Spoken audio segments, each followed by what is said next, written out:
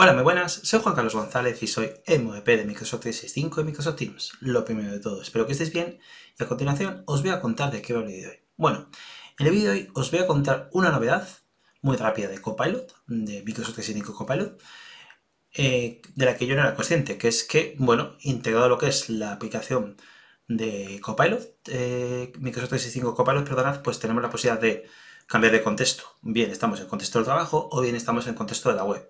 Esto ya lo teníamos disponible en lo que es la web de Copilot en sí, de Microsoft, que os lo enseñaré, y también lo tenemos disponible en la aplicación. Al final lo que se trata es de que, bueno, el usuario al final, independientemente de donde esté, pueda, digamos, hacer uso de los mismos recursos de Copilot y de la misma forma. Pero bueno, no me enrollo. Dentro vídeo. Bueno, como decía, os voy a contar pues esta característica de la que yo no era consciente, seguramente llevo un tiempo en Copilot, eh, Microsoft 365 Copilot, todavía me cuesta adaptarme al, nombre, pero bueno, yo os la cuento hoy. Entonces, fijaros, aquí estoy en lo que es eh, la home de Microsoft 365 y yo tengo aquí la aplicación de Copilot que la tengo anclada en lo que es la barra lateral de herramientas. Ya sabéis que esto es una opción además que aparece, le aparece a los usuarios si no lo tienen hecho para que lo anclen.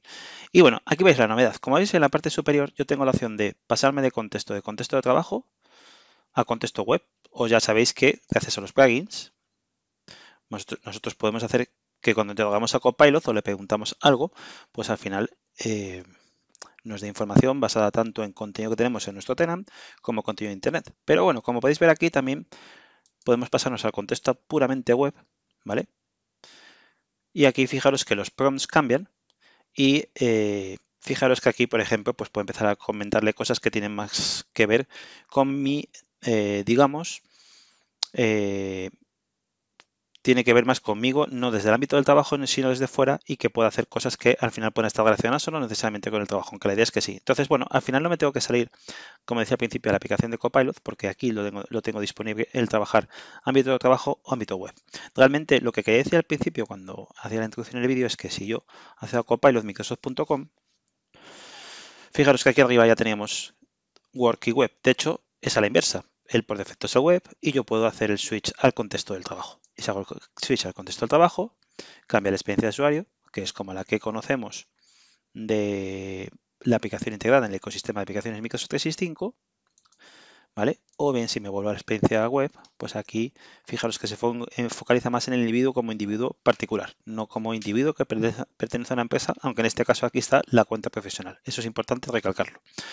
Entonces, bueno, yo podría volver, digamos, a lo que es Copilot como herramienta corporativa de productividad dentro del ecosistema Microsoft 365 y, eh, por ejemplo, si yo tengo que hacer entrevistas para ampliar el equipo, pues este me parece un prompt que es interesante y eh, puedo pedirle a Copilot que use la potencia del LLM, que se expanda a Internet y que me dé una serie de tips relacionados a, eh, bueno, algunas banderas rojas a la hora de tener en cuenta cuando estamos haciendo una entrevista. Muy bien, perfecto.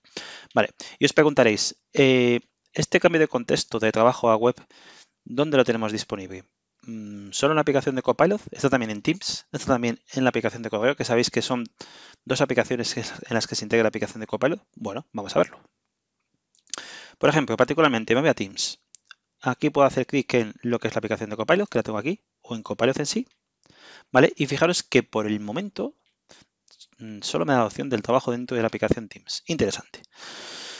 Vamos a hacer clic de todas formas aquí, de nuevo en la aplicación de Copilot, porque puede ser que cambie. Y bueno, fijaros que no cambia. Entonces, de momento, como veis, ese cambio que hemos visto en lo que es la aplicación dentro de la home de Microsoft 365, no lo tenemos aquí, ¿vale? Por lo tanto, cuidado con esto porque de momento la experiencia no es unificada.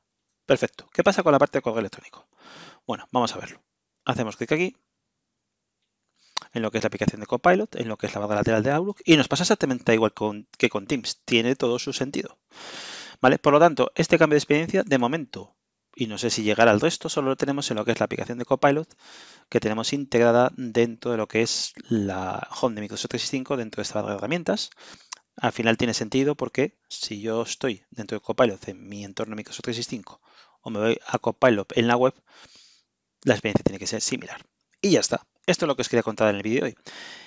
Espero que os haya resultado interesante, espero que estéis bien y sobre todo si no lo habéis hecho, os animo a que os suscribáis a mi canal de YouTube utilizando esa opción de suscribir que os aparece en vuestras pantallas y bueno, así estaréis al día de contenido nuevo que genere en torno a Copilot, ya sabéis que es de lo que más genero últimamente, pero sobre Teams, sobre SharePoint, etc.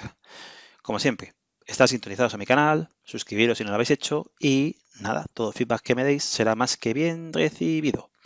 Bueno, sin más, nos vemos en el próximo vídeo. Chao, chao.